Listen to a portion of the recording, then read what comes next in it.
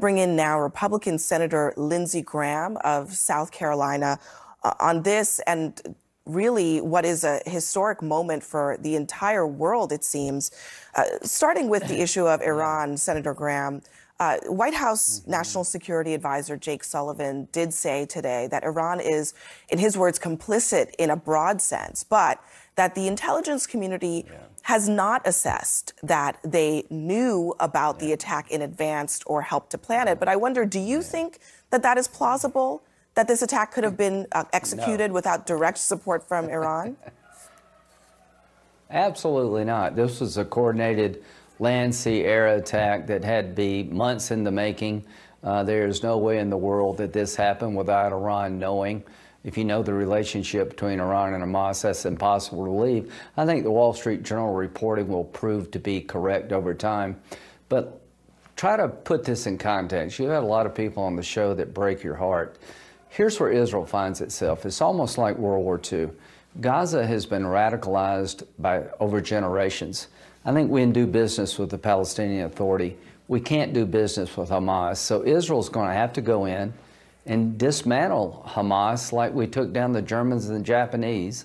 They're going to have to reoccupy the Gaza Strip and build up a new generation that will be better for the Palestinian people in Gaza and better for Israel. It's going to take a destruction of Hamas like we destroyed the Third Reich uh, and a reoccupation to get a new generation of people who really do buy into peace. And as long as Iran goes unchecked, nothing changes. Hmm. Uh, you have said recently that the U.S. should threaten Iranian oil infrastructure if yeah. the conflict continues to escalate. I want to be clear. Are you yeah. calling for the U.S. to become directly involved in this war with Hamas? We're already directly involved. 14 Americans are dead tonight. Um, to but their to families, the, I'm sorry. But to the degree that they would be alive would... today without the Iranians. But Just to... listen to me. They'd be alive today without Iran building up Hamas. Here's what I'm saying. I want to be very clear. If you kill the hostages, the Hamas has hostages, Americans and Israeli hostages. They start killing those hostages.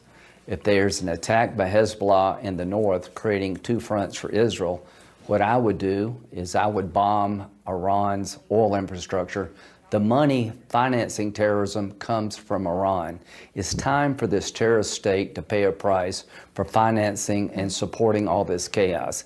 Yes, if you're the Iranians, if we're up to me, this war escalates, I'm coming after you. I think this is what I'm trying to clarify here because I, I am wondering us if in Israel, us in Israel, us, the United States no, and no, Israel. I want to be crystal clear. The United. Let me just let me just um, let me just understand yeah, you, just sorry. to be clear. You're saying yeah. that you would want the United States and Israel to bomb Iran, even in the absence you of direct it. evidence of their involvement in this attack. Yeah. So if there's an escalation, Abby, if there's people's throats being cut on television as Israel goes into Gaza and they're threatening to kill the hostages if Hezbollah is unleashed on Israel in the north, it will be because Iran is supporting that. If you don't get the connection between Iran and this terrorist activity by Hamas and Hezbollah, you're missing a lot. This is a terrorist state that has American blood on its hands. It is now time to dismantle the financing system of terrorism if this war escalates. Yes, I would do a joint military operation. I tell the Iranians today, if the war escalates, you will pay a price. You will be out of the oil business. I want to be crystal clear on that. And if we don't do that, what do you expect to happen in the future? Do you expect Israel to forgive and forget? Biden didn't mention one word about Iran today, and I want to support the president. I'm supporting the Saudi Israel peace deal. Israel made peace with several Arab countries through the Abraham Accords. I want to help the Palestinians we can do business with as part of a Saudi Israel peace deal. But I'm tired of letting Iran, I think they did this to stop the Saudi mm. Arab peace negotiations, the Iranians. I don't want to reward them, I want to punish them. So, Senator, can I ask you now about what's happening here in the United States?